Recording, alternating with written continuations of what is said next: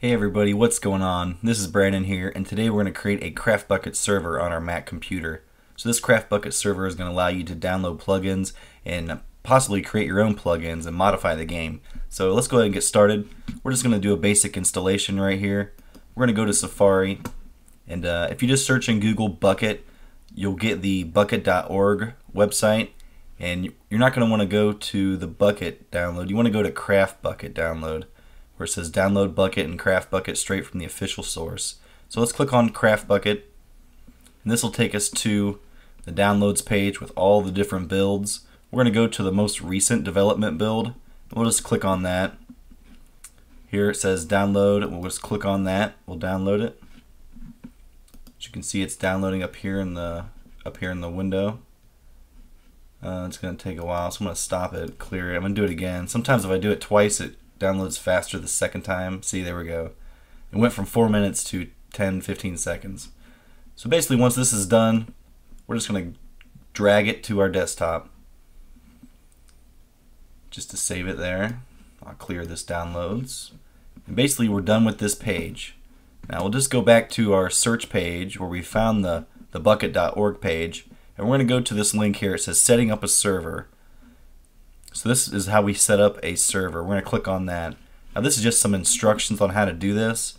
Now we're going to scroll down to where it says Mac OS X. If I just click it, it'll take me right to it. Now this page here, you can follow these instructions on how to do it. It's pretty simple, but we're going to cover that in this video right now. So there's two things you're going to need, this code and this command. Okay, so before we use this code, we're going to have to right click on our desktop and we're going to create a new folder. And basically you call this whatever you want. I'm going to call it a CraftBukkit server. I'm going to save that. And once we name our folder, we can drag our jar file into that folder. So I'm going to double click on this to open it up so you can see it. There it is. Now what we're going to do is we're going to have to open up our text edit application and do a text edit. So we can type in this code here. So we're going to go to search and we're just going to type in text and text edit should come up. We're just going to open up that. Here's the window. Now we're going to go up to format and we're going to make plain text. So we're just going to get rid of all that junk. We don't need it. So if we go back to our web browser, we have this code. I'm just going to select it and copy and paste it. Command C, Command V. And we're just going to paste it into the text edit. I use Command plus to make the text bigger but you don't have to. I just do this so you guys can see it a little better. Now basically this here is a code that we're going to execute when we click on it. So this is what it's going to do. It's going to open up Java CraftBukkit jar. Now this here is a allocated memory to the game. I'm going to change this to let's see, eight. I'll give it eight gigabytes. Basically, I have 16 gigabytes of memory, so I give it eight. If you're unsure how much memory you have, go to your Apple icon go to about this Mac and you'll see right here it'll say memory it'll tell you how much. So I give it 8 when I have 16 if you only have 4 give it 2 if you have 8 don't give it 8 give it like 4 you never want to go too high on this because your computer needs memory to run. So you don't want to give too much to the server and take away from the main operating system. So just a little word of caution there. So basically once we do that we're going to set that up to 8 gigs. And here we have our CraftBukkit jar command? Well, it's the name of the, the file it's going to open. So if we go to our server folder, open it up, we'll see that our name of our jar is different. It doesn't match. So we're going to have to make these two the same names. So what I'm going to do here is just, I'm going to take out some of this text. I'm going to take out all these numbers. And basically, I'm just going to copy that. Command C. There we go. And I'm going to go over here and I'm just going to paste it. Command V. Now what I did was I renamed each to match each other so that when this executes the Java command it will open up the right uh, the right jar file. So basically it's 1.7.2 RO4. You could just do craftbukkit.jar but I like to keep these numbers in here so you know what build you're running in case there's an update and you're not sure which version you had before you'll know this way. So basically once we have this code modified. We're going to save this file. We're going to hit Command S. and we're going to save it to our desktop and we're going to save it into the folder that we created. So it's CraftBukkit server and we're going to save this as a dot command file. So you can save it as anything you want. I'm going to call it start. That way I know it's going to start the server. And I just save it as dot command. So you could call it server.command, bukkit.command, whatever you want. But basically the dot command is going to allow it to execute the code. So there it is, it's saved.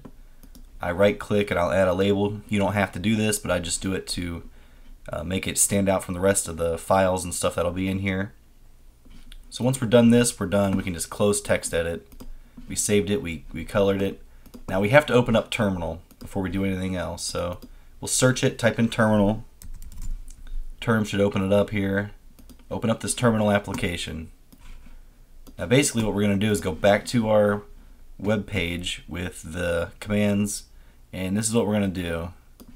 chmod a plus x. We're going to type that into our terminal. Make sure to hit a space after the X. And what we'll do before we hit return is we're going to go back to our server folder and we're going to drag and drop our start.command file into the terminal and then hit return. As you can see, it should have just executed and returned a return line. There should be no errors. So this is done now. We can just exit terminal. What we did was we gave the start.command file permission to execute when it's, when it's clicked on. So now we can go ahead and double click start.command. It's going to ask if we want to open it. We're going to say open. And you should get two windows that pop up. One says Java. This is our actual server generating. This one is just a bash. This is like a log file of all the server operations and things when when you run your server. So as this thing is generating, you can see that it's already generated stuff in our folder that we made. Basically, a lot of the stuff here is what you're going to use to modify your server. You got your ops text. This is where you're going to put your Minecraft name so that you become an admin. So we'll go ahead, we'll do that now. We'll click on our ops, type in your uh, name of your Minecraft name.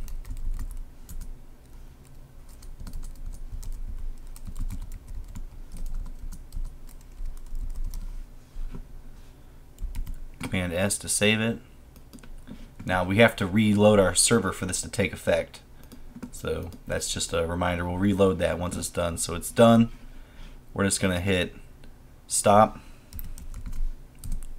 type in stop, hit return, let it log out and stop, it's done. Always type in stop when you end your server. Never end it without typing that in because you could cause some errors in the system. So now we're done, we can exit terminal. We go ahead and rerun it, start dot command, I'll double click. Two windows pop up. The bash one we don't need. This Java one should load faster since it already generated the world. And then once that's done, we've added ourselves as an op and then we are now an admin. So it's done. That was fast. So if we go back here, we go to ops, we'll double click again. There's our name. So now we're an admin. You'd add anybody's gamer name to that list if you want them to be admins. Permissions, that's something later we'll talk about, adding permission to the games and all that. Uh, the next thing we're going to go to is our server.properties. Double click that. I'm going to use Command plus. And basically we're just going to look for our server port number right here. Write that down. This is the default uh, server port number 25565. This is what we're going to add to the end of our public IP address so that people can join our game on our computer. So if you look here you'll see a bunch of other things that are listed. You can change things here if you want. Um, you can change the game modes, the name of the game, uh, you know, all kinds of things. But we don't really need to modify anything later. You can Google search this and learn about modifying everything, but it's basically self-explanatory. PvP true. If you don't want that to be true, just type in false, save it, stop your server, re restart your server, and it should take effect. Level seed, type in the you know the seed number and all that, and you can uh, basically spawn a specific seed so basically, we're done with this. We'll just exit that, close the text edit. And uh, basically what we're going to do now is we're going to go to Google and type in what is my IP address, and we're going to get it from Google. So this is your public IP. This is what you're going to use to type in the game to connect to the server. And this is actually going to be part of the address that your friends get to type in to go to your server as well. So write down your public IP address. And what we're going to do is we're going to go back to the server. We're going to open up our Minecraft. We're going to let that load up. Once this loads up, we're just going to basically play the game like normal. Edit profile. We're going to play the latest version. Even though we downloaded the 172, it still works with the latest version. So I just do that. We'll go to play.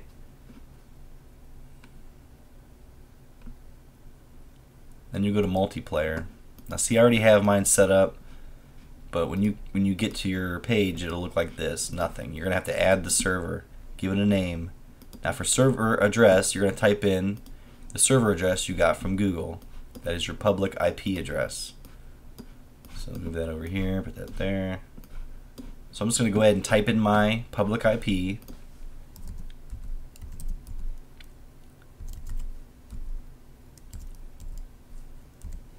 Next you'll do the colon sign and then you'll type in your port number. And that's it. This code here is going to be the address that you give to people to play your server. Now in order for them to play on your server you have to have your server on and running. If, if you stop the server your game will go down. Okay so here we'll go done and there it is our server's up and running. Now I'll show you I'll type in stop on the server console and I'll close it. Hit return it's done. If I go here, go back to multiplayer, cannot find the server because I stopped it. So we'll close terminal and then I will go back to my CraftBukkit server, double click start. We can close the bash, we'll let this one go. I cancel. So once this loads, it'll be back online. And that's all fine and dandy. You can play the game on your server, but your friends can't play it because you have to port forward that information, okay? So basically you see it's back online. So now we're going to do a little port forwarding here. And this is going to vary based on your router and, and uh, your computer and all that good stuff, but basically it's pretty general. So we're going to go to our start, or our Apple icon here. We're going to go to System Preferences. Once you get to the preference window, you're going to go to your network. You're going to double click that. And here you're going to see two addresses that you're going to need. The first one's your router IP, and the second one is the IP of the computer. This IP is the IP that your server is currently running on. This will be where they're going to connect to. Now, in order to port forward the router information, you'll have to um, connect to your router through this port and set it up. I'm just going to copy that there, Command C, go to Safari. Actually, I'll just go to a new new tab here, and then uh, two tabs. Command V, and then I'm just going to go hit return, and it's going to ask for my information. So this is where you're going to need your login information for your router. I'm going to go ahead and log in.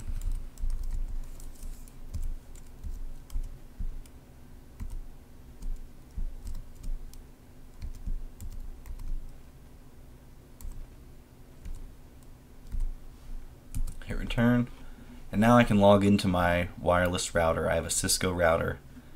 So basically, if you don't have your router's information and it was never set up, so the password's never changed, you got a default username and password. If you just go to Google and type in how to port forward, oops.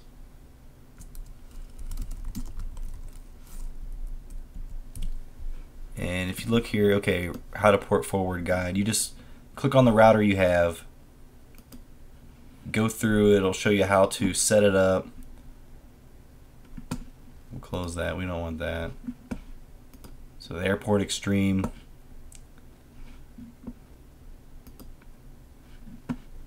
You know, it just shows you. So basically, you just go through everything, it shows you how to do it. It'll give you the information. And uh, you should be good to go, basically. So moving on, we got our router here set up. And basically, we're going to go to this applica applications and gaming tab. It's all set up nice. You just give it a name. It's for single port forwarding. we're just going to port forward a single port. We're going to type in that port number here and here for the internal and external ports. The protocol is set to both. And it's going to go to what IP address? This one right here. This is our IP address of the computer. We got that from our preference window. And wherever it's pro oh, there it is. Right here. As you can see, these numbers are the same except for the last two numbers. That's what specifies the computer out of the router.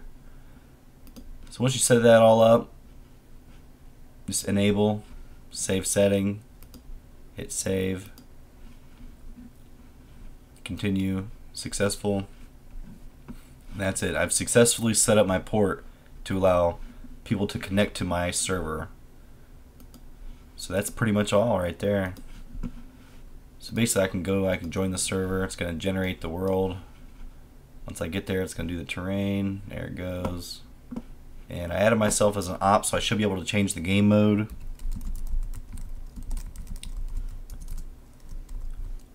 Uh, creative, game mode creative.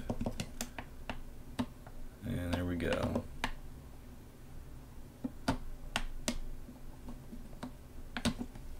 And that's pretty much it, guys. So if you found this video uh, useful and it helped you make your server, make sure to give it a like and uh, make sure to subscribe and leave a comment. And uh, stay tuned, we'll have some more videos. We're going to go over some other things, so uh, check out the other links to the videos and uh, make sure to subscribe. Alright, thanks for watching, everybody.